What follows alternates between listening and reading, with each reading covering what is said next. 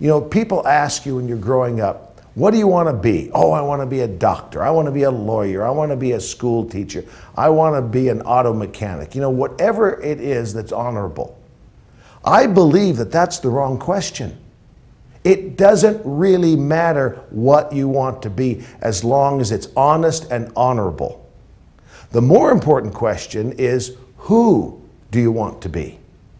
And that is who you are as a person, as a member of society, as a father or a husband, a wife or a mother, as a worker uh, in whatever company. That's the critical question. Who do you want to be? And that's a message that we try to teach these young men uh, year after year. And I'd like to think that we have some success in that. Who do you want to be is much more important than what do you want to be. I've learned so many things for my 33, now going on 34 years of coaching.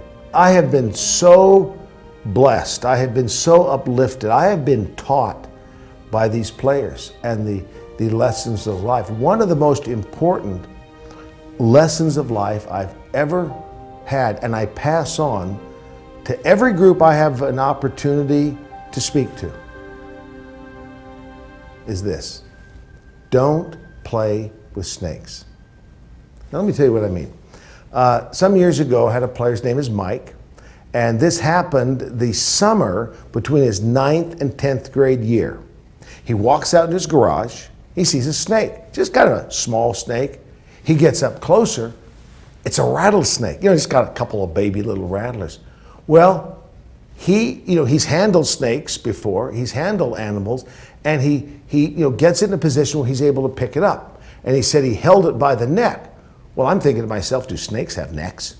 You know, I've never figured that out, but he's holding it just by the nape of the neck there, and he's playing with it. And all the kids in the neighborhood are coming over. And you know, the, the, the opens the mouth up and the fangs are there, you know, and the, some venom drops out, and he'll hold it at someone here, you know, ah, something like that.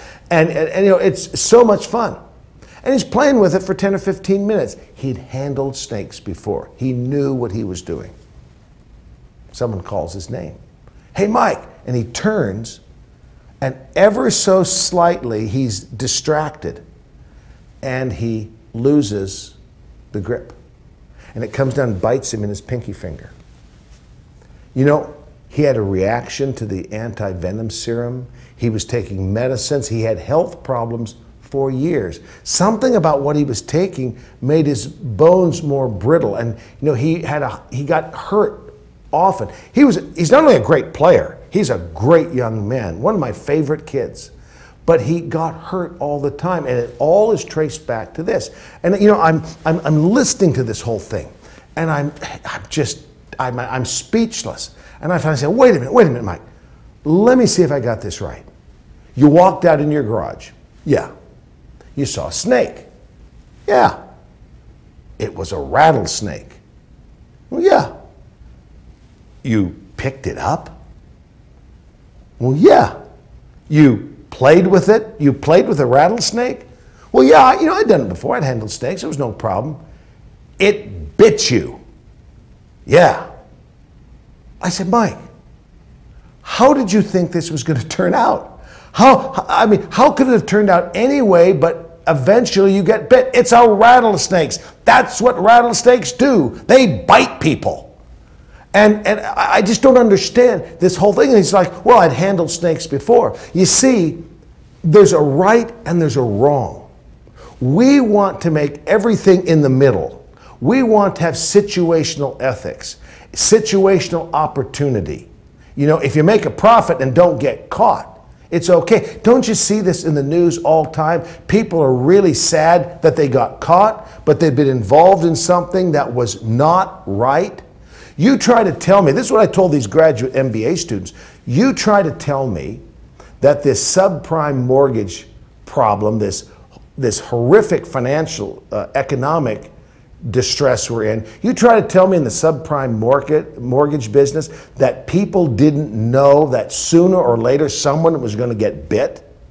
But it's okay because I'm in my profit taking. You look at Enron, You try to tell me as a businessman that someone at Enron didn't know that cooking the books was wrong? There is a right and a wrong. And I think, I tell the boys, you know, this is a story I tell the boys every year that you look at the problems that you have, your favorite temptation, if you will, and you know exactly what it is when you pick it up, when you get involved, but you don't think you're going to get bit, you don't think you're going to get caught. It's situational. Well, it's not situational. There's moral ethics, there's ethical values that are right and wrong.